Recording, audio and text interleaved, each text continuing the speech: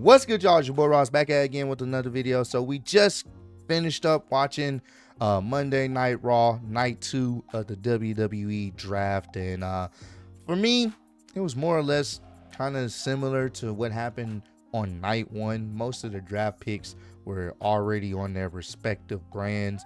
Uh, it was cool to see Ilja Dragunov get drafted up to Monday Night Raw. It's gonna be very interesting to see what they do with him.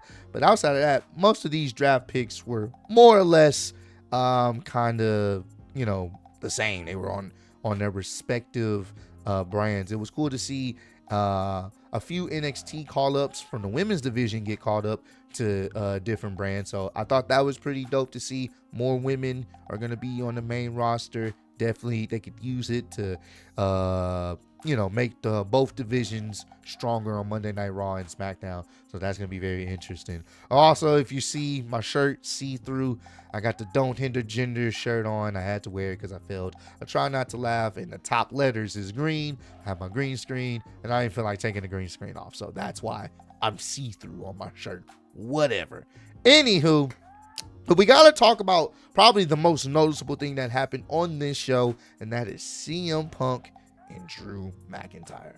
Now, CM Punk was drafted earlier in the show, and Drew McIntyre ended up getting drafted um, towards, you know, well, later on, not towards the end, but later on.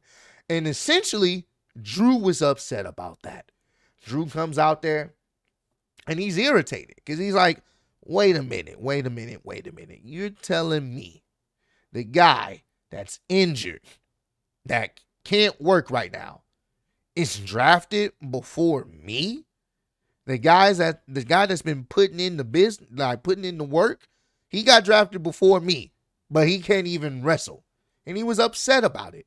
And the theme here with Drew is his obsession with CM Punk.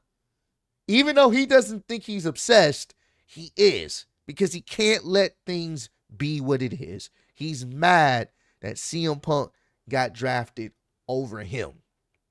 And he basically talked about uh, his injury that he suffered at the hands of CM Punk. He's like, unlike CM Punk, who's sitting at home and you know, you know, getting a free check, you know, cashing in a free check, making free money to lay up on his couch. I'm out here working, putting in the hours, putting in the grind while injured. And he's the one that injured me at WrestleMania when he attacked me from behind. Then all of a sudden, you hear CM Punk's music hit. And Drew, he's trying to find him. He's obsessed. He's he's looking back, you know, at the ramp entranceway, like what's going on? Where is he at? He's he's ready to fight. And then you hear CM Punk say, "Come on, music, come on, music," and you see him all the way in the top in one of the press boxes. So CM Punk's like, man, I'm not at home. I'm not laying up at home. I'm right here, you little bitch. What you gonna do about it? Come up here and and and see what you gonna do. I want to see what you gonna do. I'm right here, you little bitch. What you gonna do? Love it. Love that. And Drew is pissed.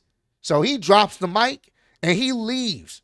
And he is making his way up all the way from the bottom floor to the top press box. He wants the smoke with CM Punk. So we cut to a shot him getting all the way to the press boxes, like the little not press boxes, I guess you can call them suites or whatnot. He gets up there, he gets in there, he's looking for CM Punk, and then he doesn't see CM Punk, but he see a picture of CM Punk autographed by him. And then all of a sudden, CM Punk music hit, and CM Punk is down by the ring at the entranceway. And Drew is pissed because he literally walked all the way up there and he wasn't even with him. CM Punk is playing mind games with him. He comes out there, he does his entrance. Proud Chan CM Punk. He gets a microphone and he says, You know what? I ain't got much time. I got about uh, five minutes you know what I'm saying? Actually, I got about like five minutes and 20 something seconds. That's longer than you actually held the championship. So, hey, Pat McAfee, I need you to time me. I'm going to finish this up in less less time than him holding the actual World Heavyweight Championship. that shit was cold, bro. He's trolling them back now. Like, I'm to finish this whole segment quicker than you actually holding the championship. Like I'm not gonna take that long. You know what I'm saying? So he sits Indian style and he's facing him. And I love this because he's talking his trash. You know, he's he's letting it be known. Like now I got your attention now. Now I'm I'm going to mess with you. You see, you sat up here and prayed for you, you know, that you were happy that you messed up my tricep. You prayed for that. You prayed for that. And look what happened. I injured you. I took your opportunity away. I took I was the one, I'm one of the reasons why you lost your championship. And now you're hurt. And now you're mad. You're you're upset why I got drafted first because I'm the best in the world. I'm the best on the micro, best in this ring, best on the microphone, best at commentary. No offense to Pat McAfee and Michael Cole. This is what I do. You're upset, but that's okay. Because I want you to know when I come back and I'm 100% medically cleared, I'm going to make your life a living hell. And I can't wait for it. Can't wait for it. And the shot of Drew just sitting up there with this crazed look. His hair's all over the place. Like he just has this crazy look about him. I love this. I love this completely because this is very good.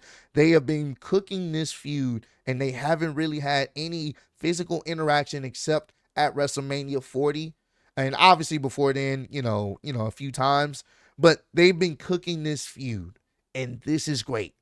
I I coined this as pretty much the feud of the summer. This is gonna be the feud of the summer, and I cannot wait till they have their match. Hopefully, it's before SummerSlam, but if it's at SummerSlam, that's probably one of the biggest matches you can put on. The promo package for this is gonna be fantastic. I'm all for this.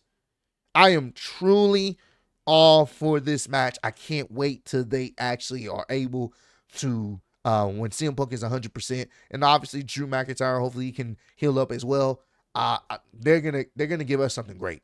This is gonna be good, and they're killing it because both guys are killing it on the microphone. Drew has found his voice. CM Punk has always had it. He's killing it. They're both killing it, and it feels there's some realism added to it, especially with the social media antics. I love this.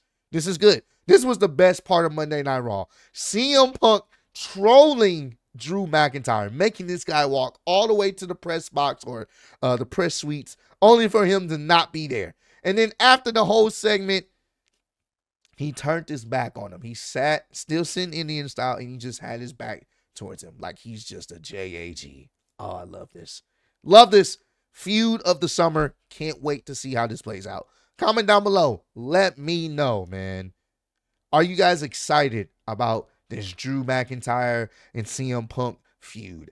Um, because I know I am. Like they, they are knocking this out the park. Let me know how excited you guys are and how do you think um they're gonna continue playing out this story? Do you think CM Punk is gonna be one of the reasons why Drew McIntyre does not win the King of the Ring tournament? Because I believe Drew McIntyre is in the King of the Ring. I do think CM Punk may be one of the reasons why he does not win just to piss off Drew even more. Y'all let me know what y'all think about that. But I appreciate all the love and support. Road to 50K, and I'm seeing you on Speedy YouTube Wrestling Champion World. Appreciate y'all kicking with me. See y'all next one. Peace.